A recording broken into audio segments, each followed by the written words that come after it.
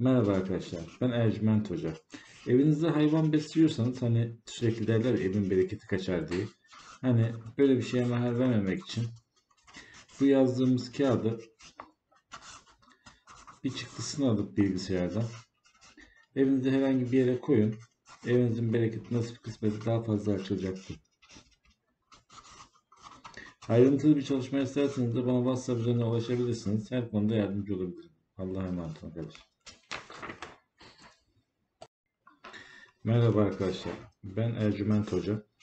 Bugünkü yaptığımız çalışma aile içinde sürekli sağlık sorunları yaşıyorsanız, sürekli hastalanıyorsanız evinizin bazı haklarını düzeltmek için olacak olan bir çalışmadır bu. Nokta nokta koyduğum yerlere adınızı, doğum tarihinizi ve anne isminizi yazın.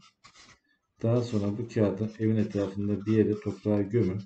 20-25 gün içinde evinizin içindeki olumsuzlukların kalktığını göreceksinizdir. Ayrıntılı bir çalışma yapmak isterseniz de bana WhatsApp üzerinden ulaşabilirsiniz. Allah'a emanet olun.